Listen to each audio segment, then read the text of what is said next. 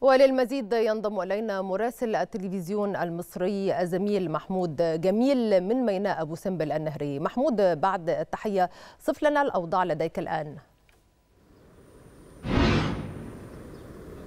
نعم بعد التحية لازالت هذه المنطقة هي الخط الفاصل بين الموت والحياة. في هنا في ميناء أبو سمبل النهري ويستمر توافد السودانيين على الحدود المصرية السودانية عبر معبري قسطل وارقيل في هذا التوقيت تحديدا الذي أتحدث فيه إليكم هناك عدد كبير من الحافلات. هنا في ميناء أبو سمبل النهري نتحدث عن أكثر من عشرة حافلات وصلوا بالفعل من معبر قسطل. وصولا إلى هنا في في ميناء أبو سمبل النهري بها عدد من المئات من الأسر السودانية. والعبارة الآن موجودة في معبر قسطل تحمل العديد من السودانيين للمجيء إلى هنا في هذه النقطة تحديدا. نقطة هامة كان لدينا يعني حديث منذ قليل مع هذه الأسر التي وفدت إلى إلى ميناء أبو سمبل النهري. أحد المواطنين تحدث إلينا أنه استطاع أن ينقذ أسرته بالكامل للمجيء بها إلى مصر وهو سيعود مرة أخرى إلى السودان. نظرا للوضع المتأزم والاشتباكات الدائرة في السودان فهو استطاع أن ينقذ أسرته من هذه الاشتباكات.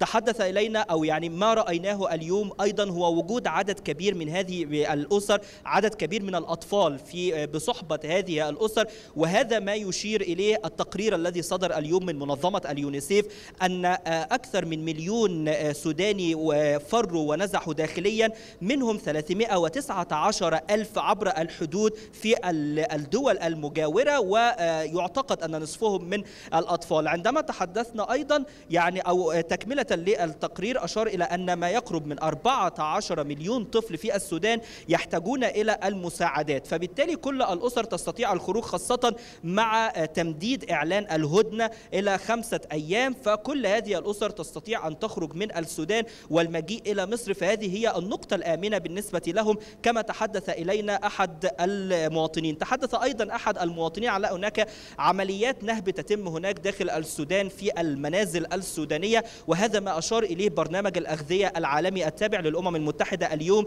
أن 14 ألف طن من المساعدات الغذائية قد نهبت جراء الاشتباكات والاندلاعات داخل السودان. فبالتالي كل هذه الأسر الأسر تبحث عن منطقة آمنة فليس هناك أأمن من هذه المنطقة المجاورة كما تحدثوا إلينا.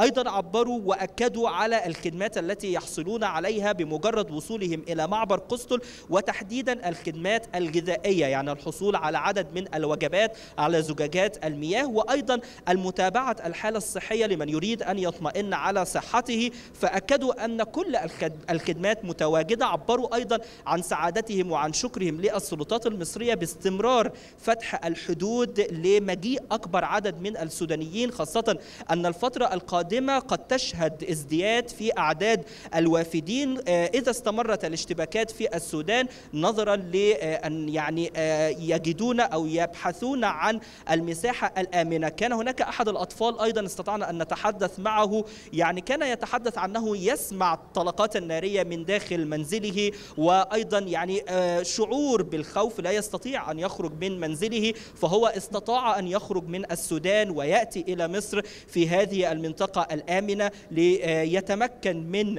أن يستمتع بالأجواء وأن يستمتع أيضا بطفولته ويجد مساحة من اللعب والبهجة أيضا وسط أسرته. فبالتالي أصبحت مصر وطن آمن كبير يستقبل الأشقاء السودانيين وهذه ملحمة وطنية تقدم من خلالها. كما أشار المفوض السامي لشؤون اللاجئين أن من يأتي إلى مصر سيتمتع بمجموعة واسعة من الخدمات سواء الصحية أو نعم. التعليمية وهذا ما رصدناه اليوم. ليس فقط في معبر الصورة. قسطل ولكن بمجيء إلى مدينة أبو سمبل يتلقون نعم كل محمود. المساعدات من المصريين أشكرك شكرا جزيلا مراسل التلفزيون المصري الزميل محمود جميل